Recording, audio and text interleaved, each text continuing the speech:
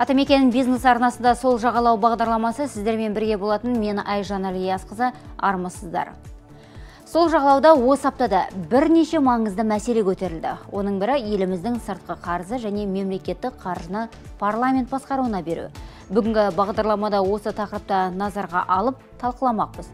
Ол үшін арнайы шақырылған спикерлермен таныстырайын. Скайп арқылы байланыста рахман алшанов экономист талант қалиева аудитор қаржылық сарапшы және жалғасбек ақболат экономист. Алғашқы сұрағым енді мемлекеттік қаржыны парламент бақылауы тиіс. Сол кезде еліміздің сыртқы қарызын бақылап азайтуға мүмкіндік болмақ. Бұл мәжіліс мен азат перуашевтың пікірі. Депутат осы аптада осындай бастама көтерді. Рахман мырза сіздің ойыңызша мемлекеттік қаржыны парламент бақылауына беру қажет пе? Шынымен де қарасаңыздар соңғы кезде осы жөнінде әңгіме көбейіп кетті мына дағдарыс кезіндегі қазір дүниежүзіндегі дағдарыс. Мұнай бағасы түсіп кетті коронавирустың санитарлық дағдарысы бар экономикалық дағдарыс бәрі біріккен кезде осы қаржыны санаған кезде шынымен де көптеген сұрақтар туындап отыр. Есеп комитетінің төрағасы годунов мырза өткенде айтып отыр. бір мың жетінші он тоғызыншы жыл арасында квази госхолдингтер жеті жарым триллион ақша алыпты. Олардың пайызы бір пайыз қалған. Ал қалған кәсіпорындар алты тоғыз пайыз. Мына неге зейнеткер қорында он екі триллиондай теңге бар. Оның жұмсауда қалай болып отыр? Мына басқа холдингтер қарасаңыздар мінекей кеше президентіміз айтып отыр ғой есеп бар ма? дегенде міне қарап отырсам жиырма отыз бірінші шілдеде деловой неделя бастаған екен. Казатопромның басшылары жеті жеті жеті адам тоғыз алпыс сегіз миллион теңге алыпты. жүз отыз сегіз миллион әрқайсысына. Сонда кімдікі бұл? Мемлекеттік кәсіпорын ба жоқ жекеменшік кәсіпорын ба? Сол сияқты судың да сұрауы бар дегендей бүгін таңда ақша қалай бөлініп жатыр кім жұмсап жатыр? Ертең квази мемлекеттік квази госхолдингтер барлығы қалай өмірлері жауап бере ма ешкім жауап бере ма екінші бюджет. Қарасаңыздар даму бюджетінің жеті есе артық болып жатыр. Жеті есе артық сондықтан кімнің сұрап жатқан өте орынды сырт қарыздар бар сырт қарыз алғанша өзіміз ақшаны үнемдеуіміз керек қой сырттан алғанша сондықтан азат перуашев айтқан өте орынды. Президент қайта қайта айтып отыр. Енді осыған байланысты мына годунованы есеп комитеті. Қарасаңыз ақшаны мемлекет бюджеттен алады. Бюджетті сұрайды. Ертең оны тексереді өздері де сол тәуелді ғой. Осыған байланысты қазір парламент парламент қарасын деп отыр. Парламентке шығару үкіметтен алу бұл бақылаудың деңгейін көтеру.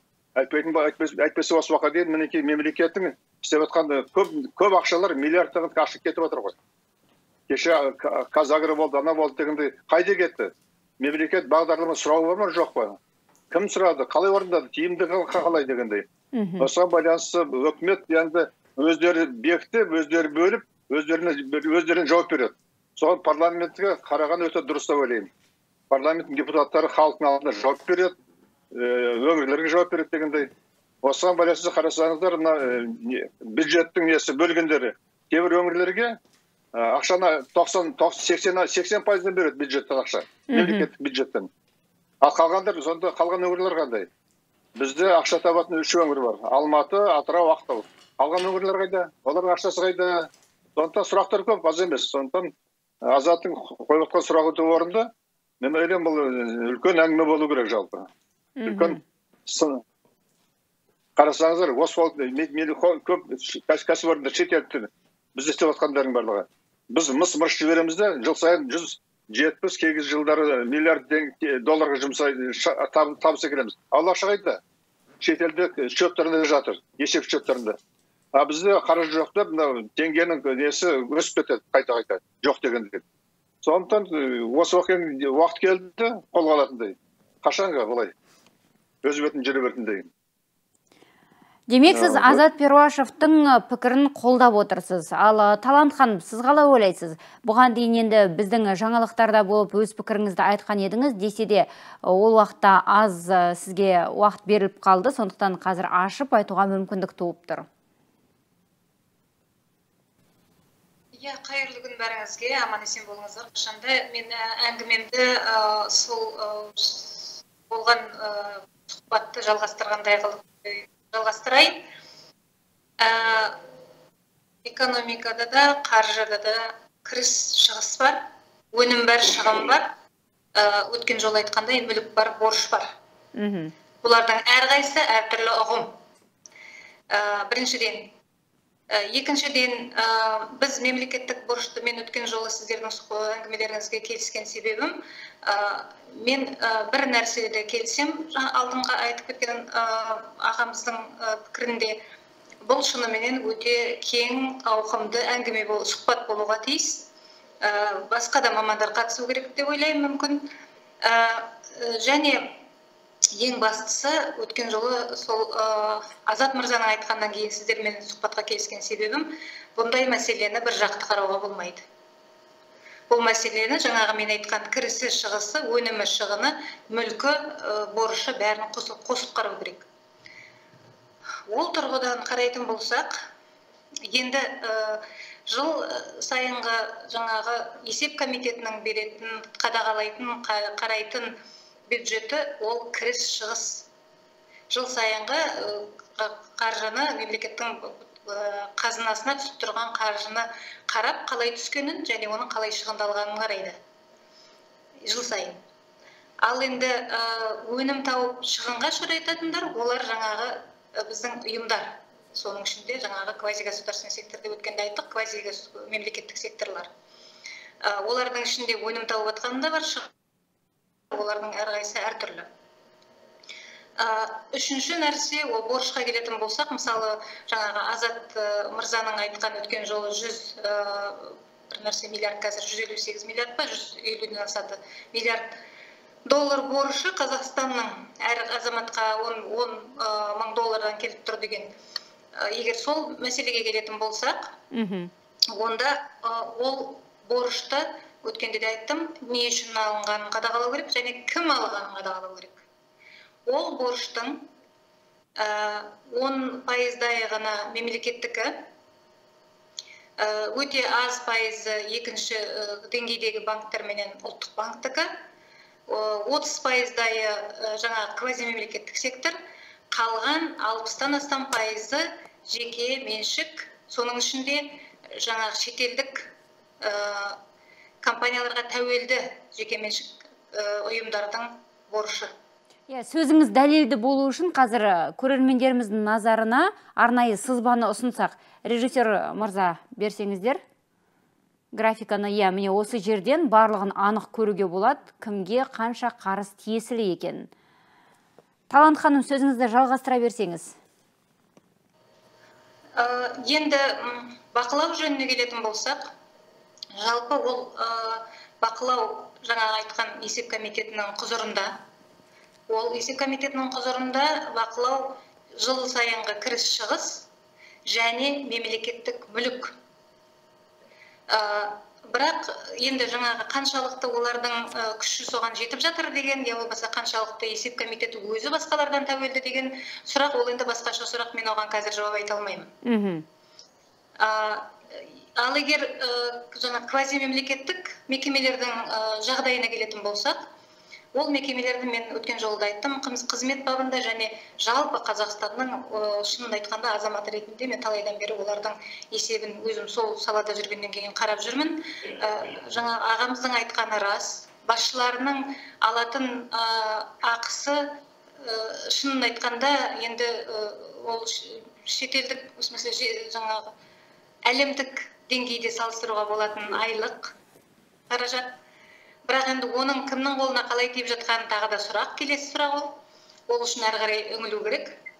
Ә, бірақ айтайын дегенім мысалы жаңа ә, сол есеп комитетінде айтып отырмыз ғой. Мен он бесінші жылғы ә, сол сұрақты көтергенмін. Он бес он бесінші жылғы есептің бойы есептің нәтижесінде. Он бесінші жылғы ә, самұрық қазынаның тек қана жаңа ключевой персонал дейді негізгі жаңа басшыларына берген ә, ә, сыйақысы? сыйақысы иә. Есеп комитетінің сол бір жылға жұмсайтын қаражатынан 14 па 15 есеме артық болған. Мхм. Бір жағынан бір жағынан ә, самұрық қазынаның шоғырланған есебіне қарайтын болсақ 60 миллиард доллардай мемлекеттік мүлік солардың билігінде тұр. Кешегі азат мырзаның айтқан кезде жаңа парламентке көшірсек деген да айтқанда менің кейін ол кісімен сұхбат болғаннан кейінгі ойыма келгені ол кісі өзі мәселе бір мысал келтірді. Мысалы жаңағы министрліктер есеп береді біздің алдымызда алатын қарызына есеп есебінің бәрін көрсетеді сосын соған қайтадан жауап береді деді. Және өзі бір мысал келтірді министрлік оқу министрлігі ғой деймін алпыс миллион доллар алып әлі күнге дейін есебін ала алмай отырмыз деген. Мхм. Сонда мен өзім ойладым а парламент алпыс миллион бір ғана мекеменің министрліктің алпыс миллион қаражатына есеп ала алмай отырса ол қалай алпыс миллиард әртүрлі саладағы мүліктердің есебін қарай алады. Оны және қанша қарайды? Қалай қадағалайды? Көрдіңіз ба? сұрақ осында. Сұрақ осында. Жалғасбек мырза сіз қалай ойлайсыз енді? Бұл жерде қарап отырсақ рахман мырза мен талант ханымның пікірі екіге жарылды десе болады. Сіздің пікіріңіз мемлекеттің қаржысын парламент басқаруына беру қажет пе жоқ па? Тағы да жалпы бұл пікірге байланысты менің жалпы ойым қазіргі кезде қазақстан республикасы бұл дамушы мемлекеттердің қатарында болғандықтан және де біз дамыған мемлекеттердің жолындағы алғашқы сатылардамыз деп есептесек дәл қазіргідей біздің жағдайда тікелей парламенттің қадағалауы маңызды деп ойлаймын. Себебі тікелей қадағалаулар әлбетте жүру керек. Егер де біз шетелдік әлемдік практикаларға қарайтын болсақ қаржы ұйымдары өз бетінше жұмыс жасап автономды қызмет жасау арқылы эффективтілікке жетеді. А былай да қазіргі кезде мемлекеттің жағдайында шынымен толыққанды қадағалау олардың барлығын есеп алу міндетті түрде қажет болып табылады. Одан басқа азат мырзаның жалпы айтқан мәлімдемесіне байланысты. Бірінші мәлімдемесі бойынша мен толыққанды келісемін. Дұрыс қадағалану керек есеп алыну керек. Себебі әрбір бюджетке түсіп жатқан әрбір тиынның өзі ол халықтың тапқан еңбек ақысынан және де әрбір біздің еліміздегі ресурстардың көз негізінде олар табылып отыр. Және де оны оң солды жұмсау және де оның есебін білмеу үлкен қателік болушы еді. Екінші нәрсе бойынша азат мырзаның жалпы қазіргі кезде үлкені бар кіші, кішісі бар тоғыз мың қарызы бар деген секілді мәлімдеме жасады. Бірақ бұл жерде аздап бір ақпараттың дұрыс жеткізілмеуін біз мен алға тартқым келіп отыр. Жалпылай қазіргі кезде екі мың жиырмасыншы жылы сәуір айының бірінші күнгі есептілік бойынша біздің қазақстан республикасының сыртқы борышы жүз елу екі миллиард ақш долларын құрайды екен. Оның ішінде алпыс төрт пайызы тікелей инвестициялар енді мен ранг бойынша айтып жатырмын ең үлкен бөлікті кім алады. Тікелей инвестициялар олар фирма аралық берешектер. Бұл берешек бойынша негізі бұл инвестициялар деп айтсақ та болады. Яғни бұл салынған ақша қаражаттары міндетті түрде қайталады және де оны біздің халық төлемейді. Осы моментті өте жақсы ескеру керек. Одан кейінгі тікелей халықтың қатысы жоқ ол банктерге байланысты. Халық өзінің тарапынан бермейді. Енді азат перуашев мырзаның жалпы шырылдаған моменті ол біздің өзіміздің құқығымызға байланысты мемлекеттік құқықтардың сақталуы. Ә, мәселен ә, ол әлемдік практикаларда болған. Ә, мысалы мемлекеттік қарыздар яғни үкіметтік қарыздардың қайтарылмауының салдарынан басқа шетелдік ә, мемлекеттер талап өзінің талаптарын қойған болатын. Және де бұндай сәтте ә, жалпы алып қарайтын болсақ ә, мемлекеттік басқару органдарының жалпы қазіргі кездегі сыртқы қарызы ол он бір миллиард ақш долларын құрайды екен.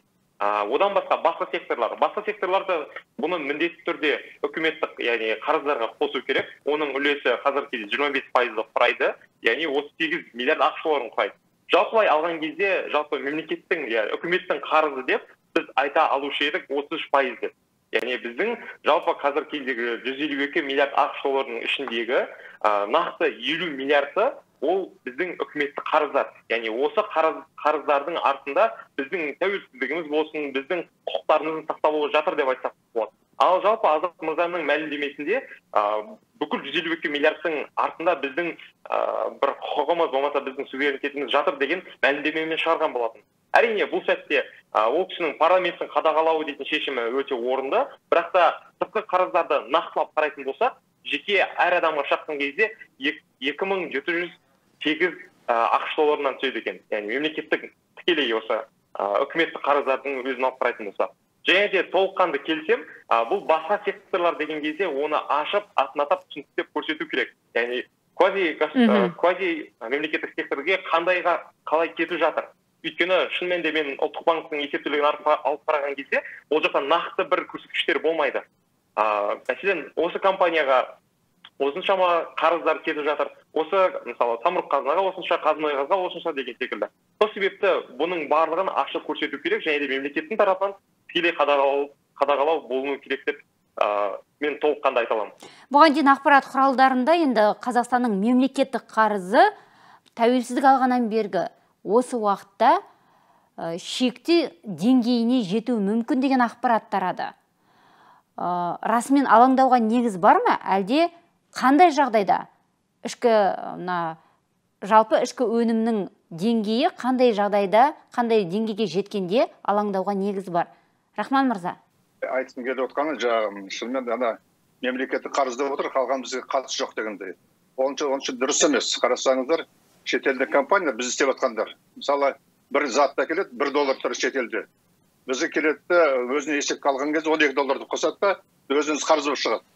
Ертең ол ақшаны бізден алу керек қой сатып алған инфляция туғызатын осы жерде репатриация прибыль деген бар шетелде ұғым сонда осы осы осы немен баға арқылы біз қа- біз қарызымызды өзіне жіберетін тәсілдері ғой соған бұл, бұл жерде қарау керек біз енді тәжірибеміз аз ғой бірақ дегенмен де шетелдік инвесторларға жағдай жасадық олар қолдадық дегендей бірақ осы арада қазір олар тексеретін қандай бағамен алып жатыр салық қалай екен қандай жеңілдіктер жеңілдік беріліп жатыр екендей үңіліп қарауымыз керек. Бұл енді осыған байланысты жаңағы шынымен де әр шаққан кезде біздің біз төлемейміз ғой олар компания төлейді. Былайша айтқан кезде. Бірақ олар ертеңгі күні артық доллар сатып алатын болса инфляция келетін болса ол салмақ баға өскеннен кейін біздің қалтамызға түседі инфляция. Соған бұл жерде тікелей емес жан жақты қарау керек осы мәселеге. Мхм. Одан кейін жаңағы есеп комитетінің шынымен жыл сайын қарасаң жыл сайын сегіз жүз миллиард ана жылы бір триллионға дейін кемшіліктер сонда жоспар қалай жоспарлап жатыр? Ақшаны бөлдік енді қалай біз солай жұмсалып жатыр? Өткенде су бағдарламасына ақша бөлінді ақбұлақ деді басқа деді қарасаңыздар сексен пайыз ұрланып кетті. Неге? Сондықтан қа- қазір енді жалпы енді бүгінгі тақырып тікелей қатыс болмаса да ақшаны осы дұрыстап үнемді пайдалану оны жұмсау дегендей. Парламент жетіп жатыр ғой билігі.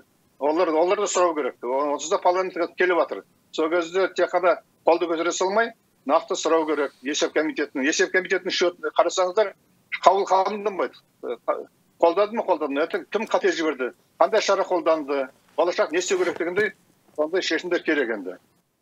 Ал енді мемлекеттік қарыз қандай деңгейге жеткенде алаңдауға негіз болады.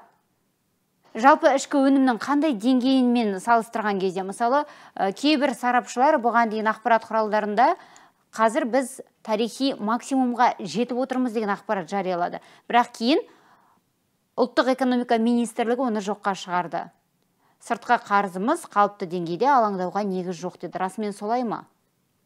енді жаңағы тікелей мемлекеттік қарыз болса шыны солай Мгм. а жалпы еліміздің қарызы онда басқаша шетелдер бәрін санайды ғой. Мгм. бәрін санайды. Бізде тек қана мемлекеттің алған алған ақшасын санайды.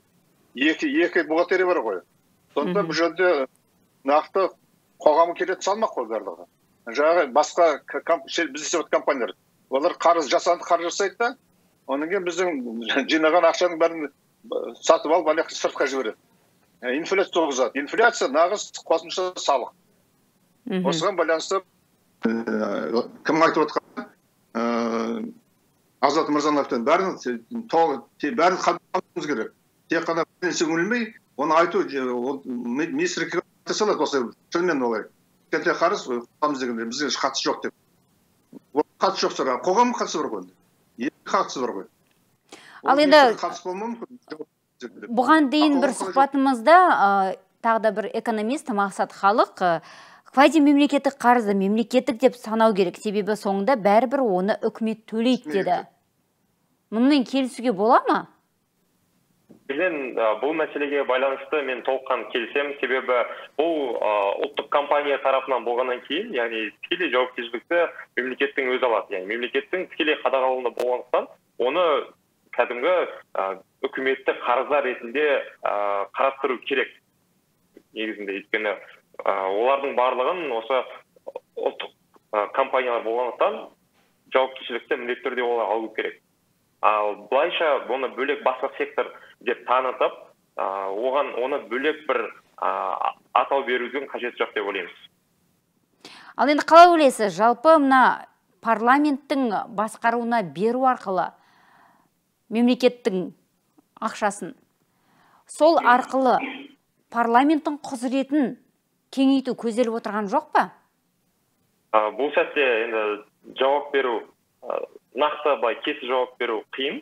Алайда жалпы қазіргі кезде қазақстанның жалпы жағдайында ондай жағдай міндетті түрде жасалу керек яғни парламентке беру керек. Немесе арнайы бір бізде енді ұлттық банкіне болсын басқа да есеп комитеттеріне біз құзыреттілікті бердік бірақ өкінішке орай нәтиже жоқ әлі күнге дейін. Әлі күнге дейін нақты есептердің көрініс таппауы ол біздің бізге деген бір үлкен бір минус болып отыр. Ал жалпы парламентке беру арқылы біз қадағалауларды жалпы ақшаның қайда кетіп жатқандығын толыққанды көре аламыз деп ойлаймын.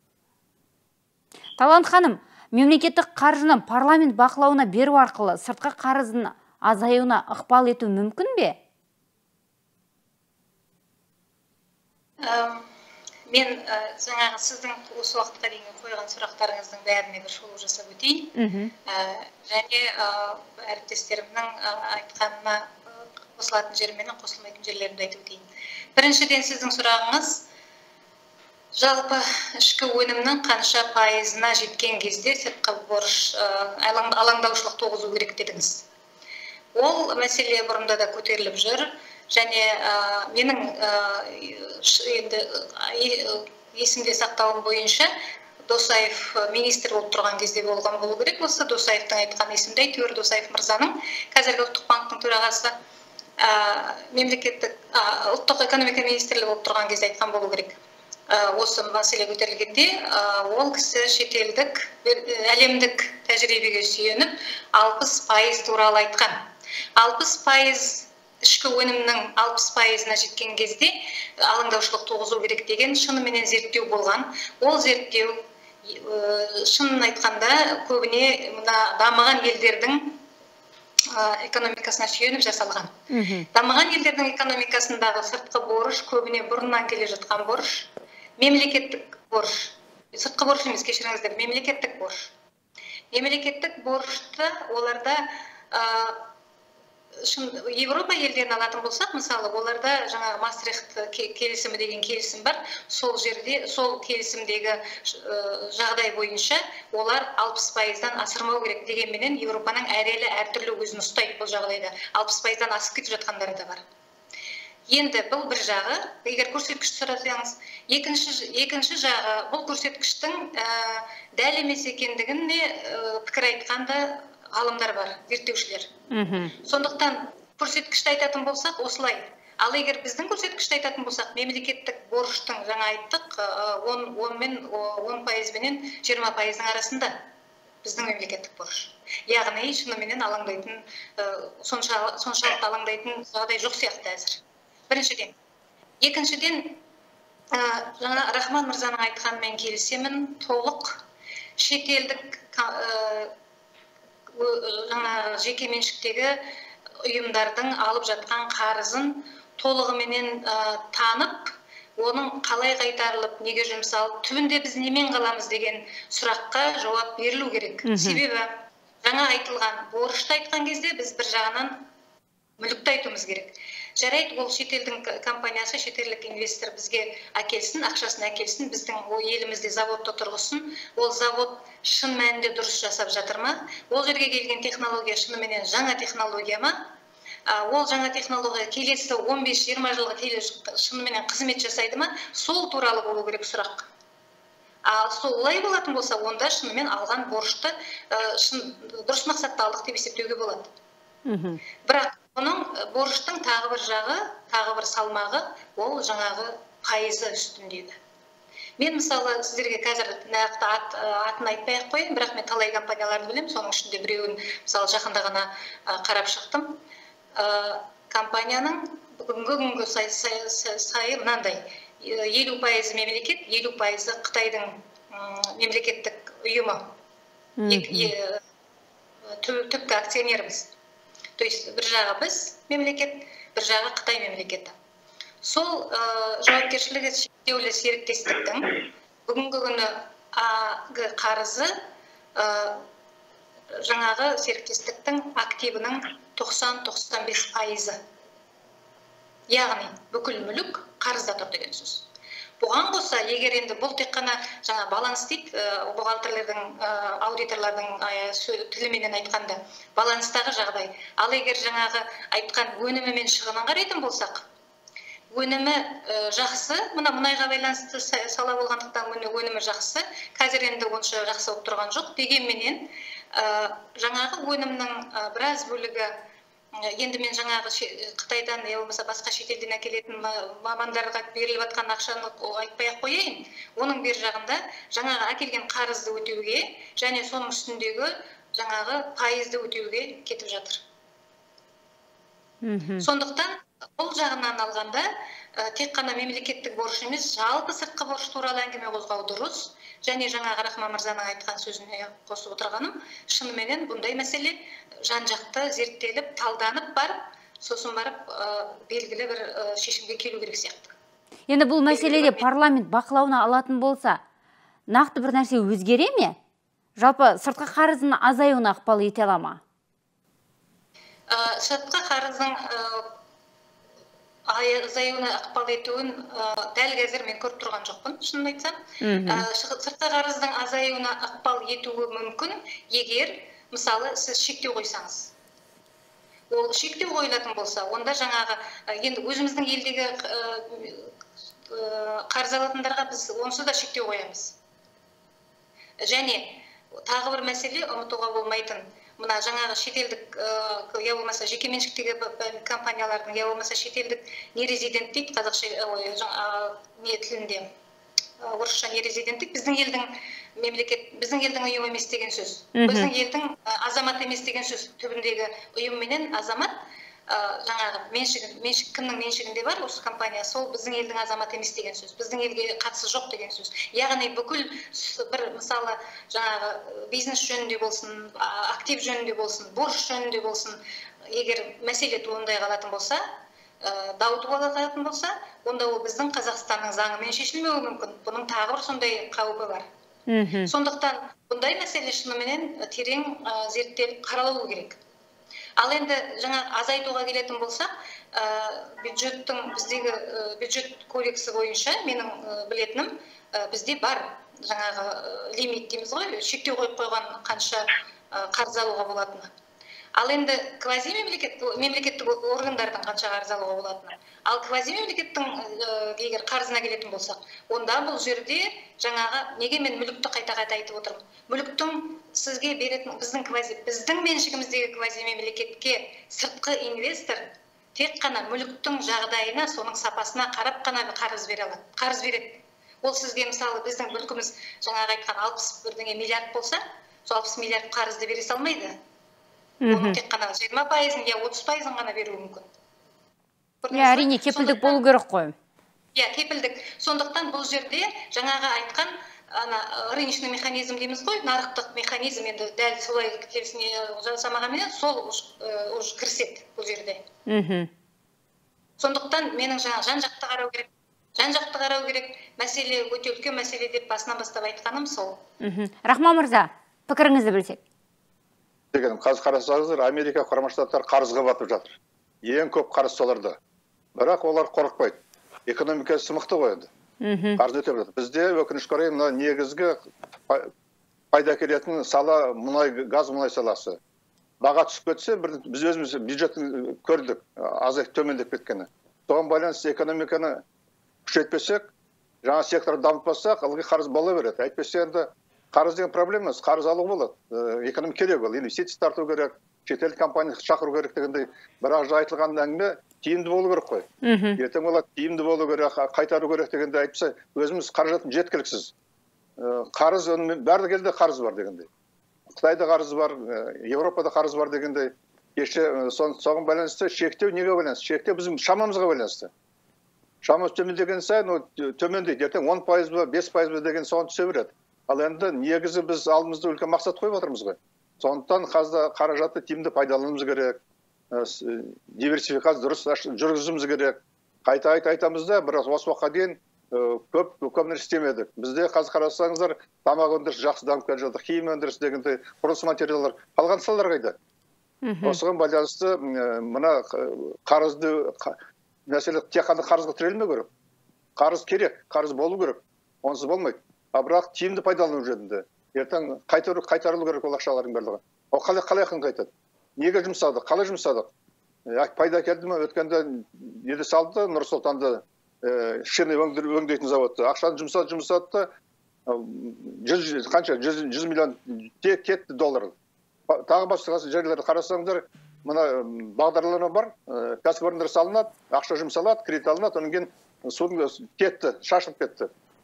Сонда қарыз қарыздың өзі өсе береді дегендей сондықтан иә шынында да ондай ондай компаниялар бізде жетерлік біршамасы ашылып қарызға ақша алып жұмыстарын бастағанымен қазіргі кезде тоқтап тұр. Енді сондай жағдай болмас үшін әрине сыртқы қарыздың сыртқы қарызды азайту үшін бәлкім азат перуашевтың бастамасы дұрыс та шығар. Оның нәтижесі бола ма жоқ па енді алдағы уақытта көреміз. Бізге берген уақыт осымен аяқталды. Сондықтан құрметті спикерлер сіздерге көп рахмет. Істеріңіз оңды болсын. Аман болыңыздар. Құрметті көрермендер сол жағалауда қабылданған кез келген құжат халық игілігіне жұмыс істесін дейміз. Назарларыңызға көп рахмет. Амандықта жүздесейік.